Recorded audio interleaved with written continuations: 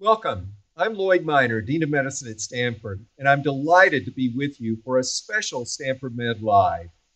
Now, we expect Stanford graduates to reach new heights, but Stanford Medicine alumna Kate Rubins has taken that to another level. She joins us today while orbiting the Earth on the International Space Station. In 2016, on her first mission on the ISS, Dr. Rubins became the first person to sequence DNA in space. In 2016, and again on this mission, she has researched microgravity's effects on the heart in partnership with a team on the ground led by Joseph Wu, director of Stanford's Cardiovascular Institute. The project was fittingly dubbed the Cardinal Heart Study. Like Dr. Rubins, we here at Stanford, especially our students, are on journeys of discovery. I hope you find Dr. Rubins' insights helpful as you consider your passions and career goals. Without further ado, I'll welcome Dr. Rubins and Stanford Professor of Medicine and of Microbiology and Immunology, Dr. David Relman, who will lead today's discussion. David? Thank you, Dean Minor. It's my great pleasure and honor to help host this live event with Kate at the International Space Station and with the Stanford community.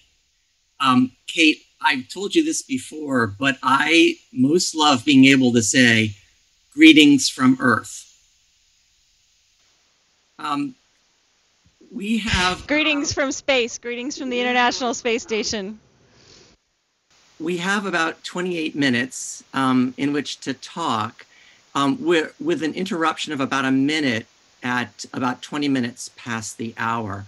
So, um, needless to say, I don't want to use up more time than absolutely necessary for a proper introduction. Um, but I did want to make just a few very brief remarks. Kate was raised in Napa, California, attended UC San Diego as an undergraduate, and then did her PhD doctoral work here at Stanford between 1999 and 2006. Although Kate was a member of the cancer biology program, her interests were in viral host interactions, and Pat Brown and I became her co mentors. Kate studied smallpox and Ebola and spent many of her graduate student days literally working in a spacesuit at the BL4 suite at CDC in Atlanta. She was fearless, curious, persistent, productive, upbeat, and amazingly dedicated to science.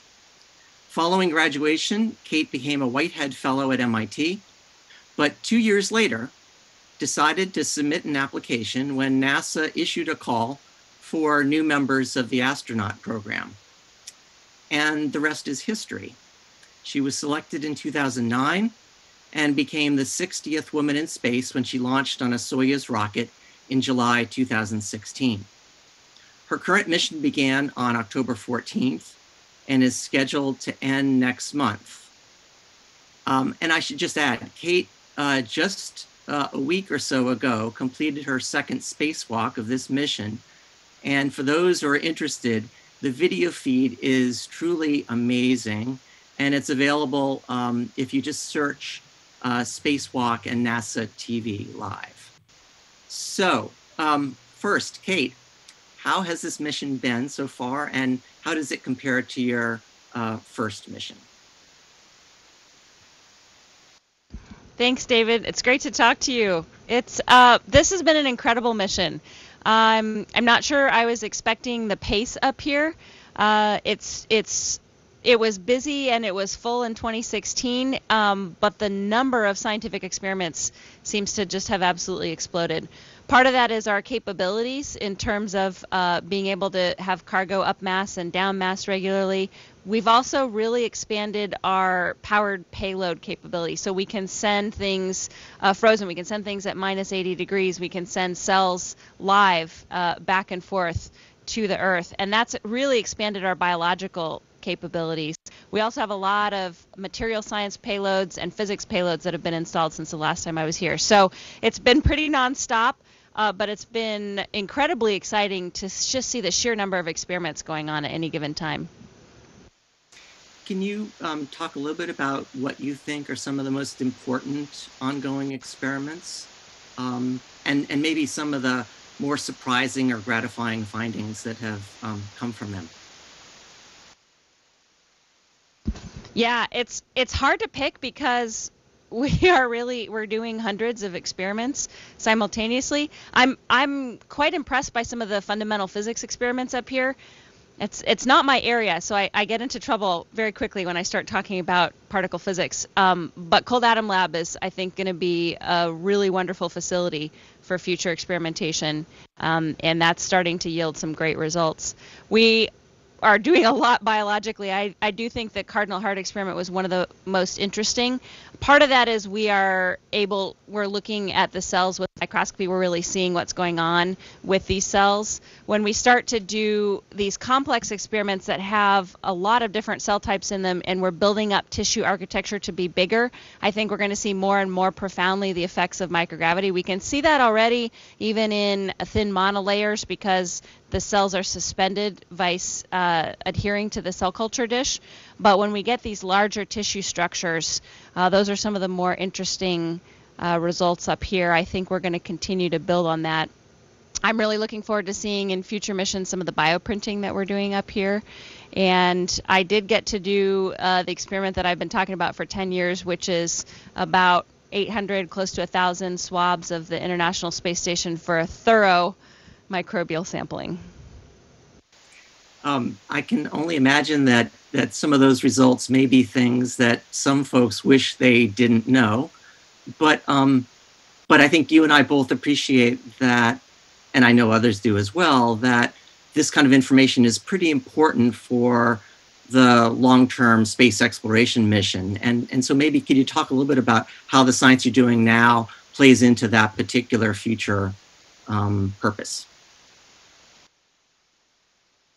Yeah, some of the science that we're doing is is really understanding uh, our life support systems.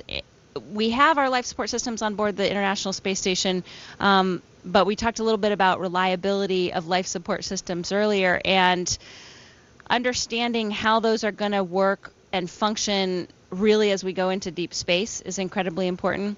I think a thorough microbial understanding. Right now, we use iodine in the water. Um, but a better genomic understanding of what's in our water system. Our water system is over 90% uh, closed loop water system, so we don't ship water up from the planet at this point. We recycle. Uh, so so yesterday's coffee is tomorrow's coffee, and uh, you can imagine that's quite a challenge when you have such a closed loop water system. Some of the engineering we're doing is bringing is closing that loop even further. So we just have installed this mission a few pieces of equipment uh, to to make this even further of a closed loop uh, of the water system. And I think there's a lot that we're going to find out um, about how humans can can survive in such a closed loop, things that we really haven't done before. Got it. Um, I'll just say that yesterday's coffee is is also tomorrow's coffee here as well, um, but just it hasn't gone through the particular path that you're talking about. Um, could you mention a little bit about the DNA sequencing technology? For those who don't know, you were the first to sequence DNA in space. And although it might seem like simply a technical feat, it does have a, an important purpose. Could you talk about that? Yeah, that project was really interesting, and it did start out as a as a technical demonstration. We asked the question: Will sequencing technology work up here? Um, previous types of sequencers, the the larger ones, things that are sitting on your lab bench, or sequencers that that take up bigger footprint and sequencers that have uh, you know lasers and fluorescence readouts just are not very compatible with spaceflight because of the footprint of the equipment and the sensitivity of the lasers to things like launch loads and vibration. So we asked, hey, can we use nanopore sequencing up here? We thought our biggest challenge was going to be fluidics, um, but it actually wasn't. We did not have uh, the fluidics problems that we thought we were going to, probably because of the um, really the small amount of liquid.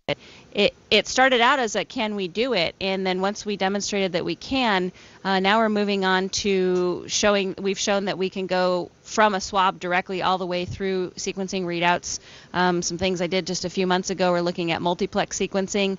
Uh, we're now going to do uh, time courses of, of space station uh, evolution of microbes up here. It just opens up this whole opportunity to answer questions. Sequencing is a tool, and so we can do experiments that we wouldn't have otherwise been able to do because we can do them at point of care right up here at the space station. We can we can use this to answer questions versus waiting three months to send samples back to Earth. You mentioned um, some of the the practical problems of doing science up there.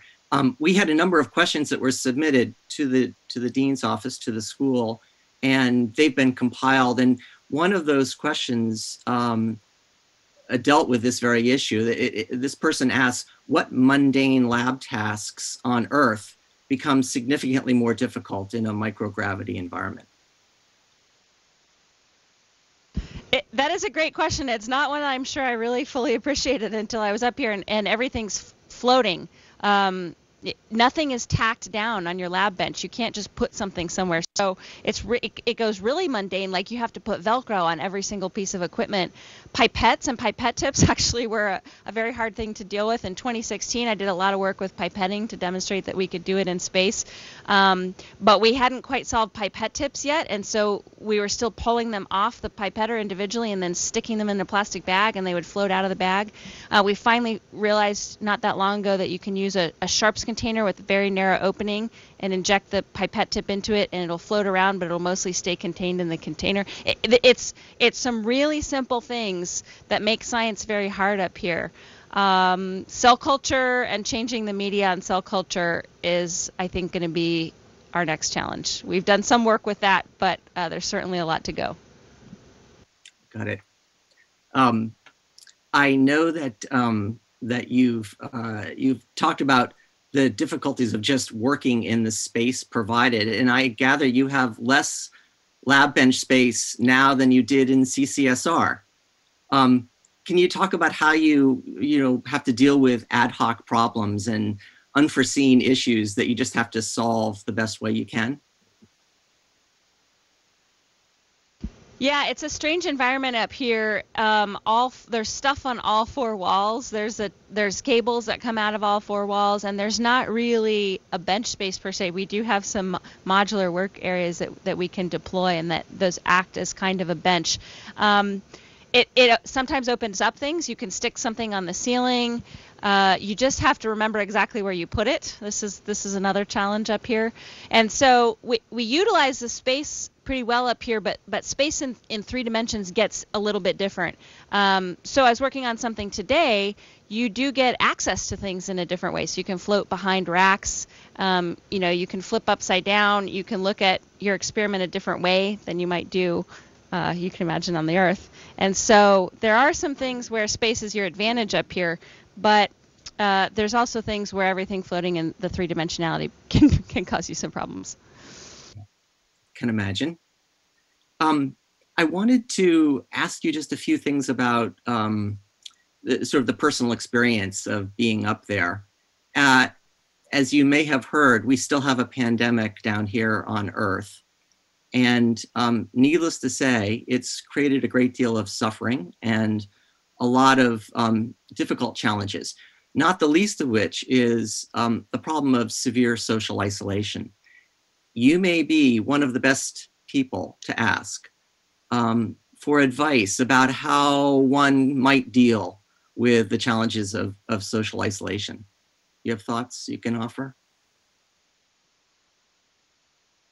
Yeah, I I was on Earth for a while during the pandemic, and I think experienced that along with everybody else. It is it is really hard. I I am not sure that, and I, and I thought about pandemics a lot. I I did biodefense research and thought about smallpox and Ebola for many years of my life, but I'm not sure I considered the social factors and how challenging that would be for human beings. We're social and we like to interact.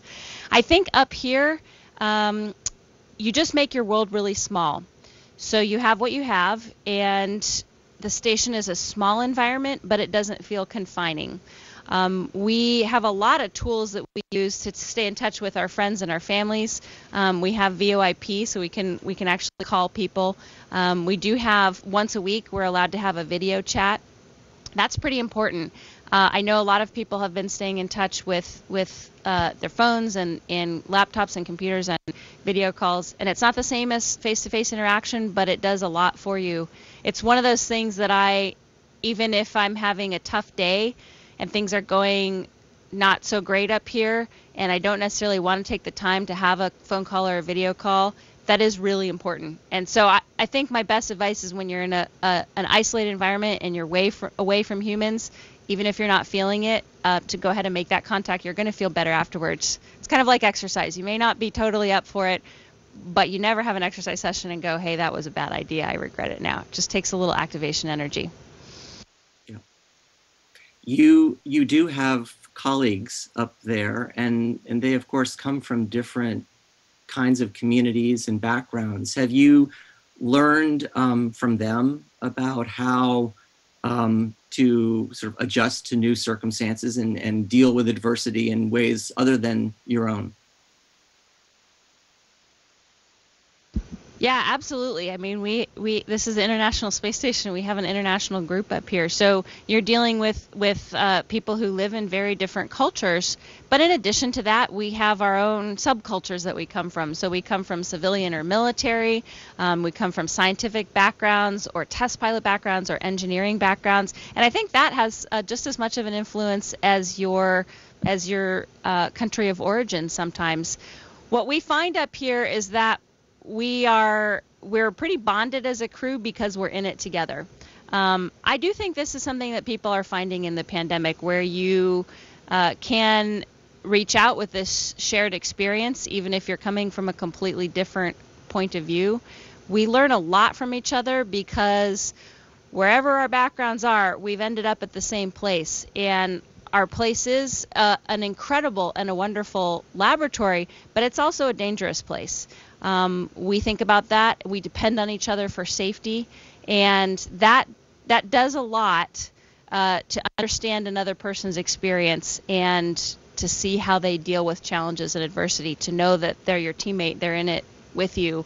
Um, you're going to depend on them to pull you out of a fire or close a hatch during a rapid depress. Yeah. Um, we have about two plus minutes before this satellite handover. Um, there were a number of questions from a number of students here who were interested in your reflections looking back at your time as a student. What, what of those experiences now seem most valuable to you in, in the career path you chose? I think I'm really glad that I got in the lab early. Uh, so I was interested in HIV in, in high school, and I did public outreach and, and HIV education, peer to peer, and awareness, and um, started working in an HIV laboratory pretty early in undergraduate. And I think that was an incredibly valuable experience. Uh, coursework is, is amazing, and of course, lab classes are really, you know, that builds your foundation. But working in a laboratory at an early age, I think, um, was probably the it, it, was the most exciting thing I'd ever done, and it's it's really what set me down the path of uh, I want to do this. I want to do science for the rest of my life. I did not really have an assumption that this was where I was going to be doing it, but uh, I knew that I wanted to do science and I wanted to do laboratory science. You've made um, doing the kind of science you do now very appealing, I think, to a lot of us. Is, is there anything in particular you'd recommend to those who hope to follow in your path? I think for people that are interested in space science, I would say pursue it. Look for funding opportunities. Um, you know, NASA has some. just go to the NASA website. They have there's a couple different paths to get funded. Uh, some through NASA, th- some through Spaces.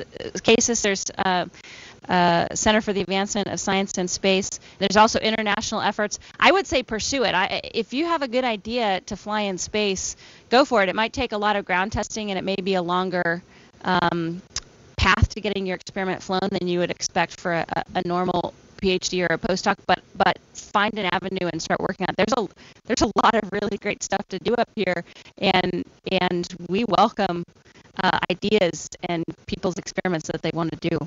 We're going to start writing them down, and I think we're going to have this little minute interruption in about a second. So we'll talk to you momentarily.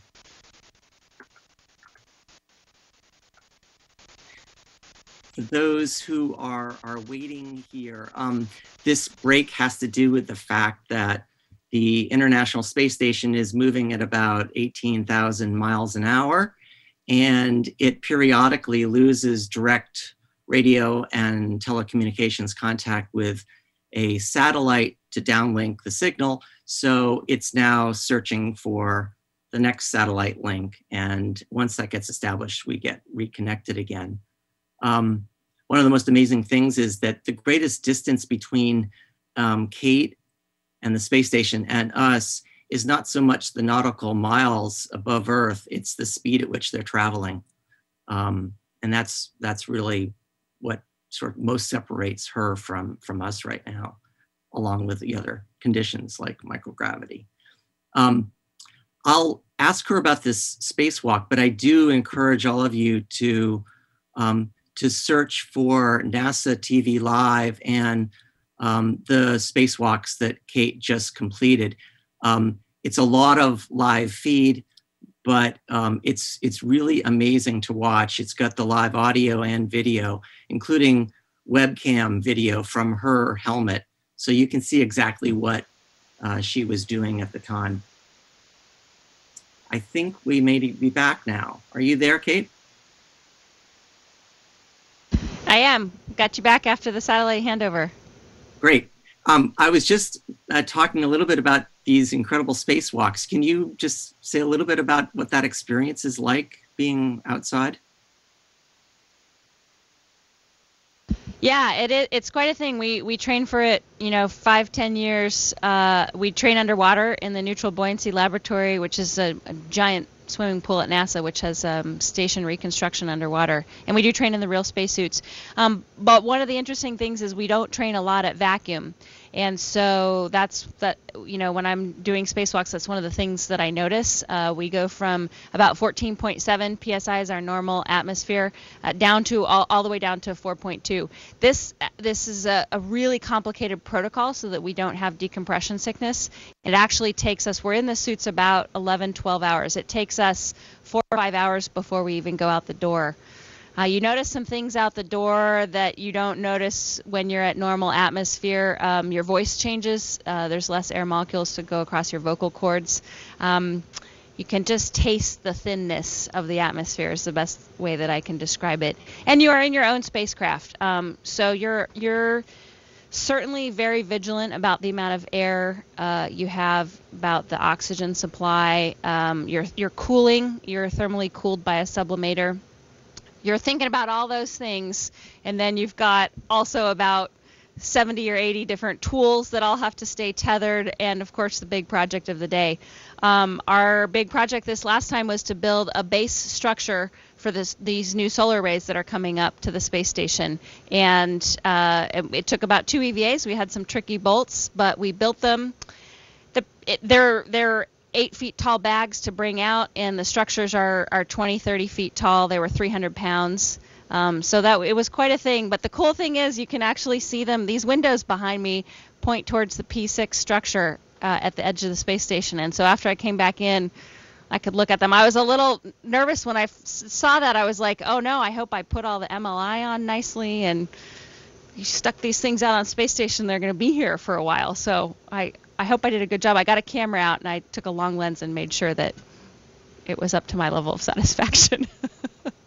I have to say, from from watching it was it was really amazing. Um, you seemed um, immensely successful. The one thing that concerned me was what appeared to be a little puncture uh, wound in the outer layer of your fingertip. It, does does this happen um, with some regularity and and how can that be? I guess is what I'm wondering.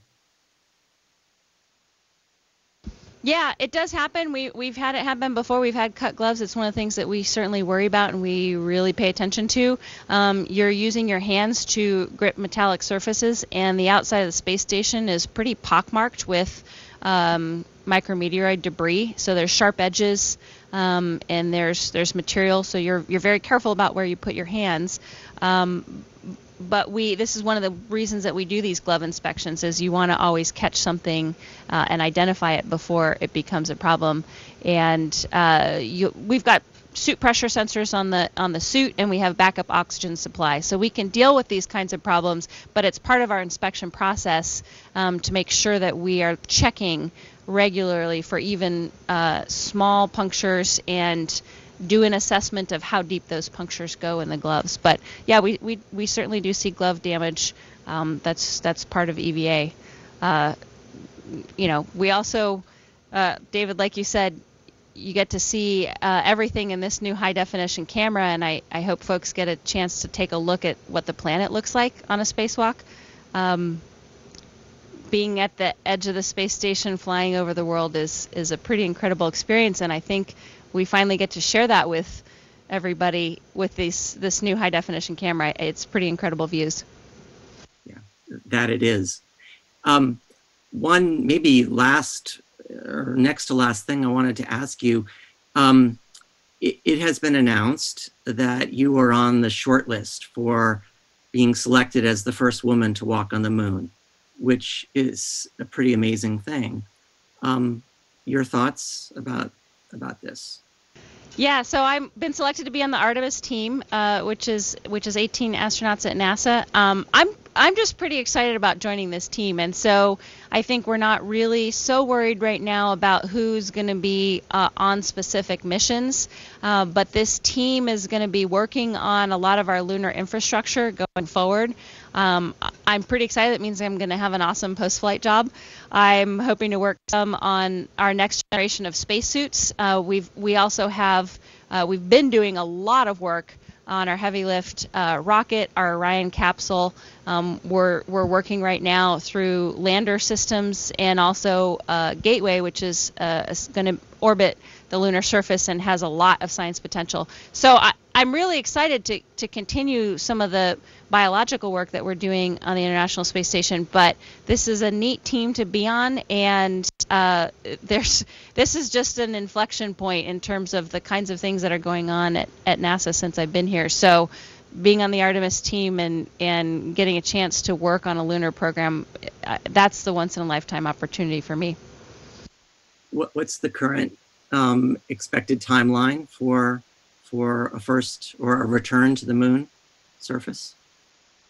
Oh, David, it's I'm trying to get through my landing date here. it's uh we that's so far future. Uh, no, we we have a, an incredibly exciting and, and a robust program, and uh, we're look for mid 2020s. Um, we actually are if if folks are interested in following this, um, we've got SLS testing, and we're going to have Artemis One, which is the uncrewed uh, test flight uh, that should be coming up in a few years, and it's going to be really exciting to watch. Great. Um, so we have about two minutes or a little bit less. Um, first of all, if you are offered the opportunity to stay up there beyond the April um, return plan return date, um, would you would you be a yes or a no? Do you want back or you want to stay? Oh, I'd be a yes, and I've sent a few emails to the program managers, but I keep getting told I have to get in a Soyuz and come home on April 16th, 17th. So I've I've gotten a hard no. I keep asking though. Maybe we'll turn that into a into a possibly.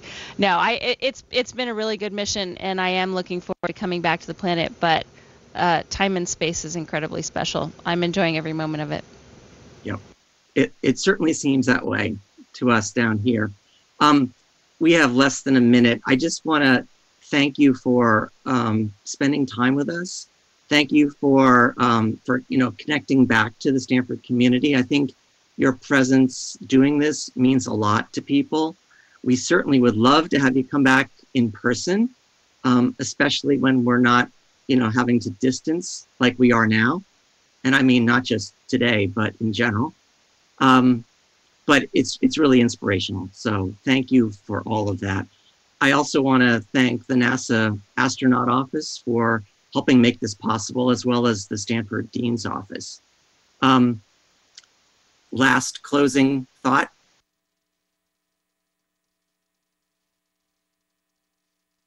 I guess that was the last closing thought. Um, thank you all for attending this, um, this event. And please feel free to send in thoughts or questions. Be happy to try to relay them to Kate and, um, and add to this conversation. So thank you all.